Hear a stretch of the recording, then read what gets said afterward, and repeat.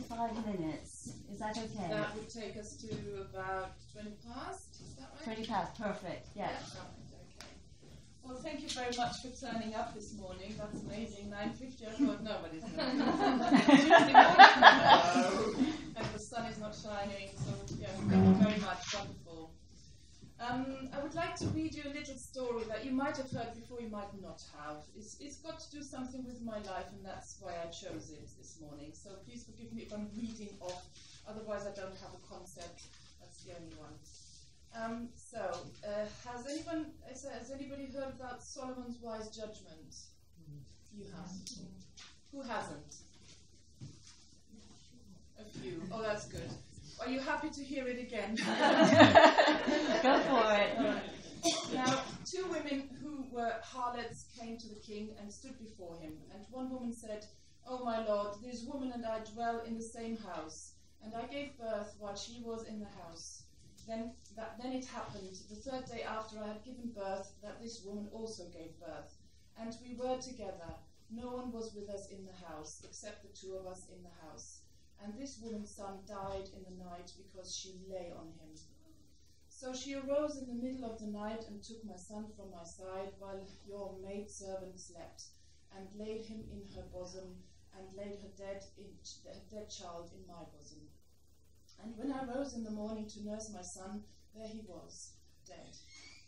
But when I had examined him in the morning, indeed he was not my son, whom I had borne.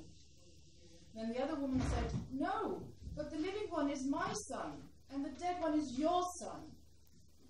And the first woman said, No, but the dead one is your son, and the living one is my son. Thus they spoke before the king.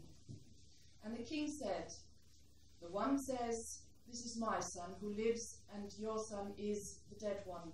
And the other says, No, but your son is the dead one, and my son is the living one. Then the king said, Bring me a sword.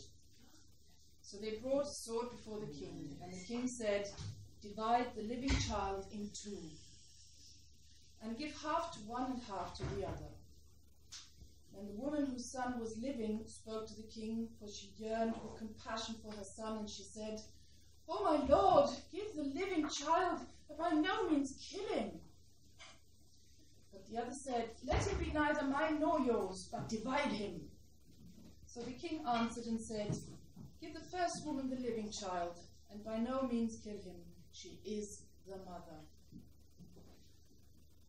So, why have I read this story to you? because I was in a bit of a similar situation with one of my exes, who's the father of my first child. And from day one, he fought for this child to be his and not mine. Um, at one point, when she was about five years old, I let her go. And I let her go to live with her dad. And eventually, I even had to give up custody. So I lost about seven years of her life, her young life, um, and don't know, and wasn't part of her life during that time. So um, I felt I was the one who gave up my child for love. And you might judge me for that, but I, I think it was the right thing to do. uh, she wasn't being um, torn apart anymore, um, for one had given up and let her go um, to live with her father. And um, it took about seven years to, for her to reconnect with me um, when she was in puberty and starting to think, starting to question her dad's behaviors and, and his decisions. And I, I then came back. I, I always kept in contact with her. I was um, sending her birthday letters and cards. Um, I was not allowed to see her. I wasn't allowed to know how she was. I dared to go into school to her, see her, um, and and I didn't do that often because the first time I did that, she was very nervous. She didn't know how to react. She didn't know what to say. She was very shy and and um, didn't kind of know how to deal with the situation. She was simply too young. So that was the beginning point for me to, um, of course, when, when I had let her go when I had to give up custody, that was the point for me in my life.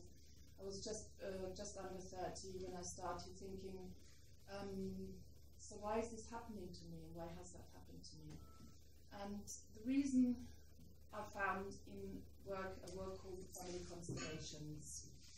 Has anybody heard of Family Constellations too?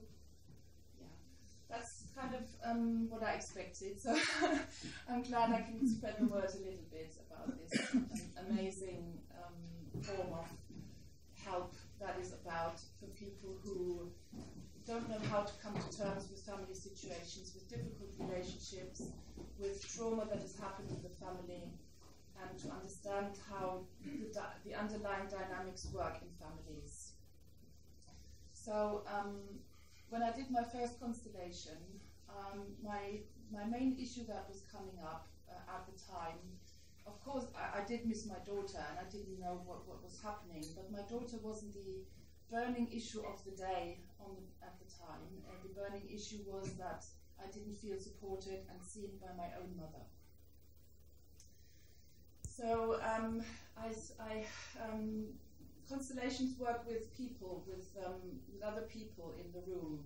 So you have a setup, a group setup, and um, you have a so-called audience, and you have a so-called issue holder. That was me at that point, and you have a facilitator. The facilitator will ask you what you would like, what that, what you would like um, the outcome to be, and the um, and the the audience will be available hugely um, as representatives for your family members. So um, when I had formulated my issue, which was, as I said, um, I don't I don't feel seen by my own mother. Um, she asked me, the facilitator asked me to place my mother in the room somewhere on, call it stage. So there's an audience and there's a stage, or there's a circle, and the stage is in the middle. It doesn't really matter. Place my mother. So, search for somebody in the room to place to replace. Sorry, to represent my mother, and um, somebody in the room to, re- to represent myself. So even I had a representative standing in, in the circle. Um, and uh, also for my father. So we had three people standing there, and and the, my representative was standing in front of my parents, looking at them. And um, my mother, my the representative for my mother, was looking over my head, over my representative's head, and um, into nowhere. And and my representative was looking like hopeful to her mother, and but wasn't seen. So, um, as the facilitator asked about uh, trauma that happened in the family, um, it came. Well, I had to sort of tell her that um, the twin sister of my mother was was born alive but died after birth. And uh, so she brought that dead sibling into the constellation, represented by another woman, and put that representative next to my mother, and put my father aside because um, that was more of a burning issue at the time. So um, when that sister of my mother's appeared, who was of course my aunt, um, uh, my representative started um, looking onto that person and was complete, completely fixated with that person that she never seen, never heard, only had been talked about, and it's a big mystery around um, what happened, why that child died. And um, so at that point, of course, my the representative for my mother um, was getting a bit curious who that person is, and all of a sudden they made a connection, and it was a heartwarming and very um, emotionally felt connection. They uh, they started seeing each other, they started hugging each other. People who had never met, who had never known anything about it, and they were in in absolute um, union um, and recognizing each other. And uh, uh, so that was one of the things that happened. And then there was another thing that happened for my mother in her life. She um, she lost her mother when she was only 13 years young. um, due to cancer. And uh, so um, we brought the mother into the constellation as well as an, another representative. And my mother saw her mother, and it was the same situation really. It was, oh my God, I missed you so much, and there was eventually the big hug and the, and the union that had not happened for such a long time. Uh, so my mother basically, um, her soul was had never been healed from from these extraordinary traumas that she experienced. Baby, even though she wasn't, of course, any conscious about it, but there's something in us that knows, and there's something in us, you know, when when you've been in the womb with your sibling um, for nine months, then there is a feeling of there is somebody else, that somebody else wasn't there anymore, and she carried that always with her. So my mother basically turned out to be quite a lost soul, somebody who wasn't quite here in life. And my father turned out to be the person that she leaned on, that helped her living, basically. When he when he stepped away, she would she would kind of um, not not be able to stand anymore. Um, so that all these things that I saw made it very clear to me that my mother was basically not available. She was physically and mentally not really available at all. So no wonder she didn't see me ever. Um, once all these processes had been healed there and then in the room with representatives, um, I was allowed to step into the place myself, and my representative was allowed to sit down and I could look at my mother and my mother, um, well, the representative, of course. But what you see is your is your you see the parent. You can't help it. And um, that and my mother looked at me, and that, of course, was then for me uh, a very emotional moment when I thought, oh my God, th- that's what it's like when your mother sees you.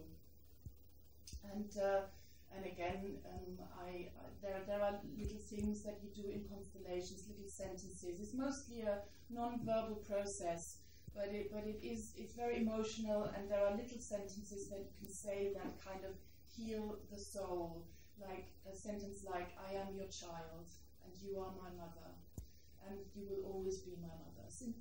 Things like that that are very obvious and very simple, but they they just point out the very truth of the matter. And also, what it what happened for me was I found my place. I I was struggling in life as well. I, I didn't know who I was because I had no guidance, especially no female guidance in my life. There, there was a mother who cared for me, yes, but um, but she didn't give me any emotional. Um, she did, didn't fulfill my emotional needs at all. So. Um, the process, well, by that time I was nearly 30 when I experienced that, but it, it initiated a healing process inside of me that was absolutely life changing. Um, for the first time ever, I looked at my mother differently, and that made the big change between me and her. And it has been going on since. Um, it's now 20 years later, and and I've, I've only heard recently heard my mother say to me, "I wish you all the best." because of, of my new ventures. I've become mm. self-employed just recently, and she was never into the stuff I do. She was not into constellations. She was not into the Nana Nunu stuff that I'm into, the spiritual stuff. she she doesn't kind of uh, approve of these things, but and but it was a, from from the point of that constellation up to 20 years later now, our relationship has constantly improved and what really changed it was my attitude, how, my awareness of things that had happened in her life, the way I looked at her, and the way I accepted that she was a. Uh, she had been a child that had experienced great sense of loss, and not had and hadn't had hadn't had her parents available to her either.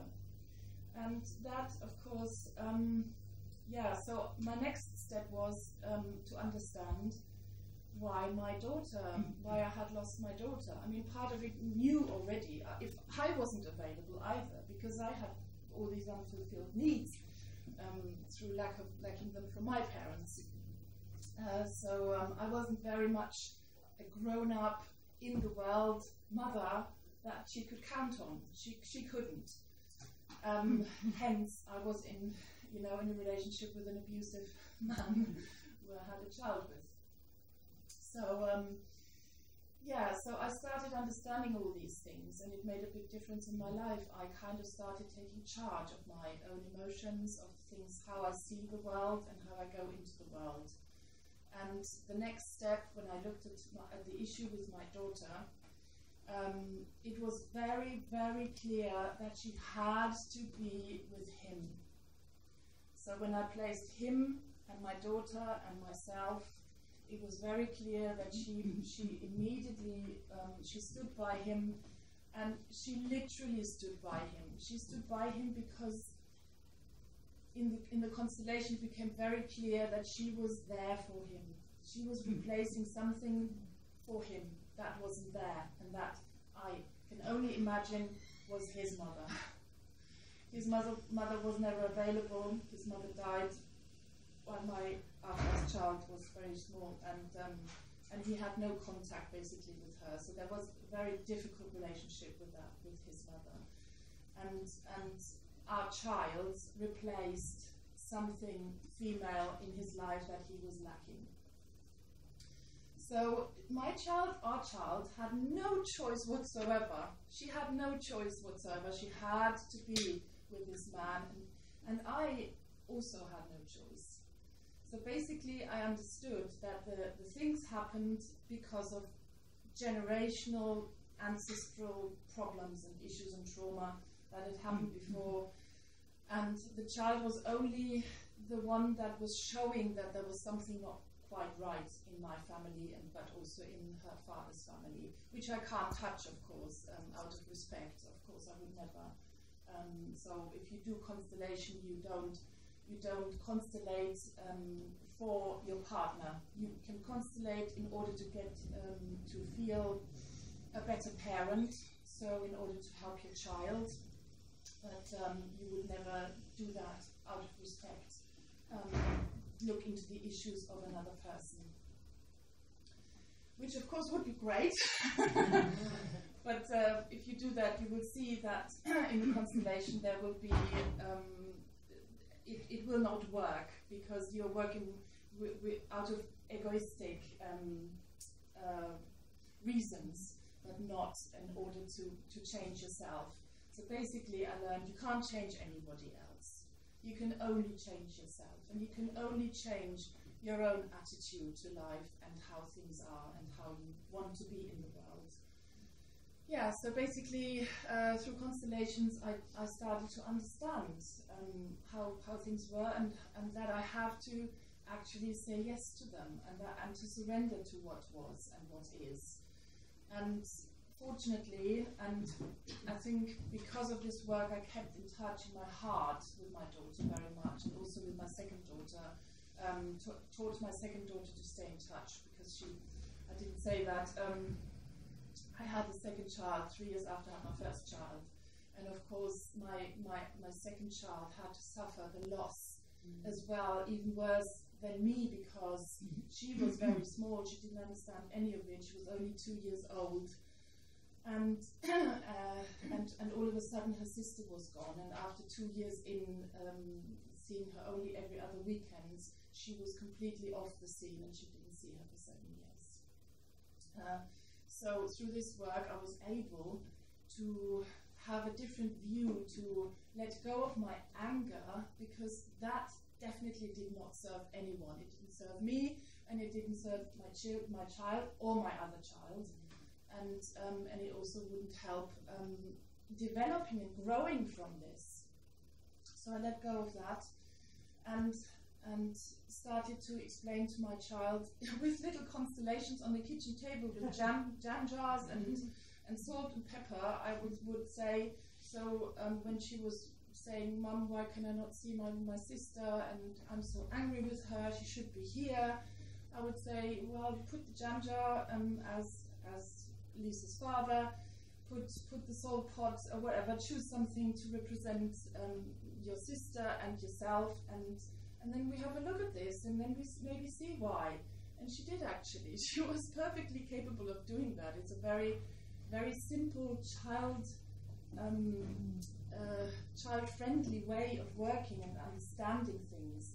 And she would completely know. She was nine or ten years old when she did that on the kitchen table. She would say, "Yeah, she cannot come. She cannot come. She has to be with her dad." Okay. But she does love me. Yes, she does love me. She saw all that. She felt all that, and uh, and that way she was able to keep her heart connection going with her sister that she hardly knew. Silvia, Yes. we um, have some time for questions. Oh, oh, absolutely. I was just thinking. Yes, I should, should do that. Yes, so please do. Yes, please do I can't go into the matter too fully, and and uh, of course, I, I yes. How much does it cost? And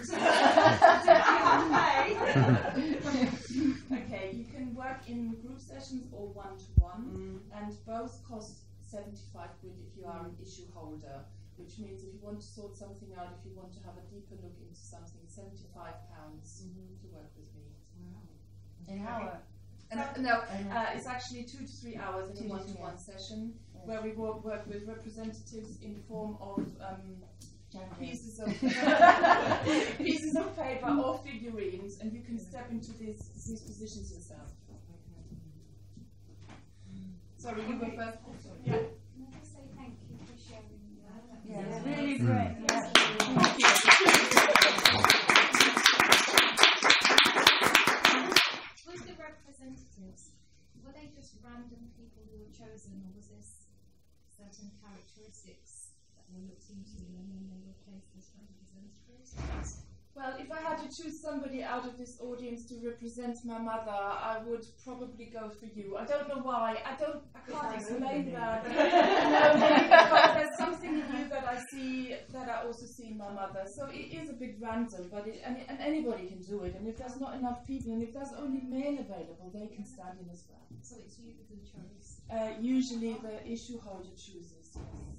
And you tell them where to look and how to behave and They, they do that themselves. They Yeah. place each other in the room and they feel into their, their role, although they're not playing anything, but they are in a different role.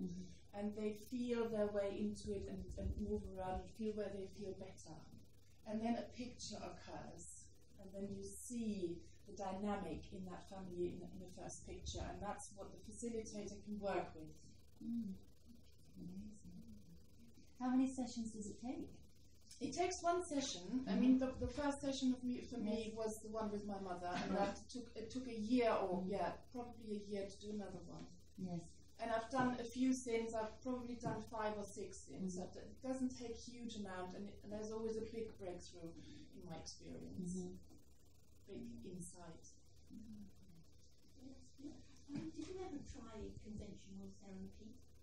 One-to-one talking? Yeah, I did talking therapy when I was with this bully man, um, which helped me greatly, and I would never condemn any other forms of therapy. They're all helpful, and I've done everything, yes. But this was the one that really, which made me see and understand what was going on, what the underlying dynamics were, what was holding me back, and things like that really did something that the talking didn't do for you. No, I would, I, w- I would, I would say, you know, I, I miss my mother.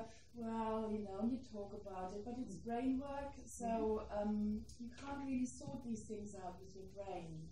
We're too small. We can't understand what the bigger picture is, and we, we can have a glimpse into it. That's all we can do.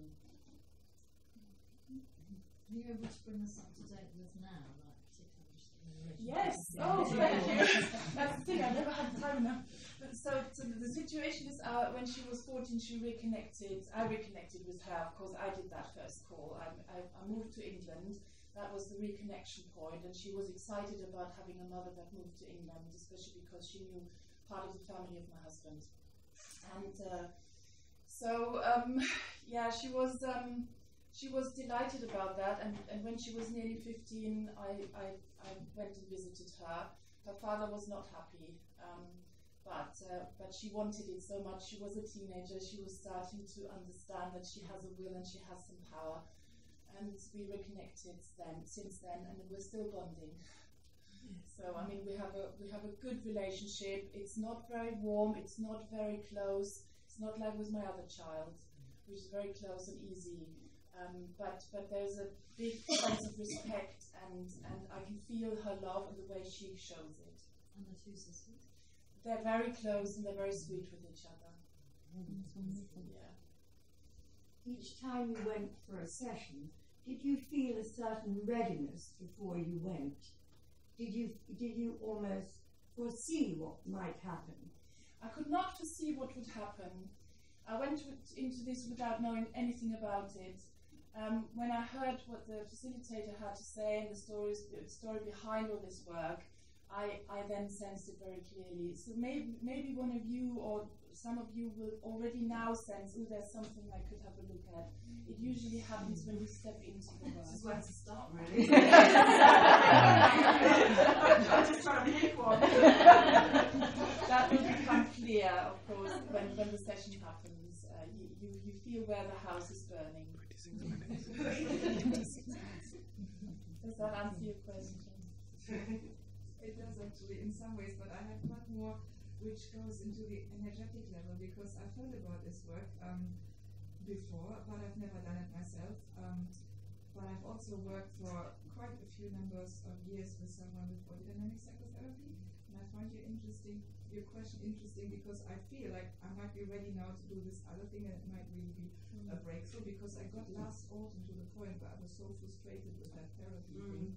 But I just thought I pay fifty quid every week, like going round in circles. Yeah. And I'm not putting it to the side. I think I needed to do these seven years, and they gave me a lot in some ways. I think in many ways probably. But my question to you is this intuitive thing because I've heard from a friend of mine in Germany. She did this, and she said it's amazing. These representatives I choose, I don't direct them at all. I state the issue, and and they, as you said, they feel into the situation, and they seem to tap into something which is completely um, subconscious and kind of like a shared subconsciousness or something like that. Yes. Um, yeah, so I, I was just curious to hear if the people you've worked with so far had done some therapeutic work before, usually, until they came to you, or is it just sometimes they come literally out of the blue because someone says this is amazing and It's from all walks of life. Usually, people uh, hear something from somebody like you did, and, and they become interested, and, and they, they hear how amazing the work is, and then they might be ready to step into something that is a bit deeper than any other therapy I know. Um, so, yeah, and from all walks of life, you can have had uh, talking therapy for ages and, and not pinpointed the root of your issue um, because simply it's not in your conscience. And, and with this work, you do step very, very deep. But I'm available all day for Yes. questions.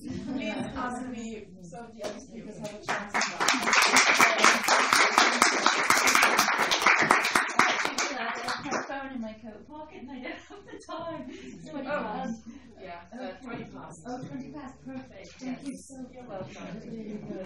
Um, do people need to stretch before our next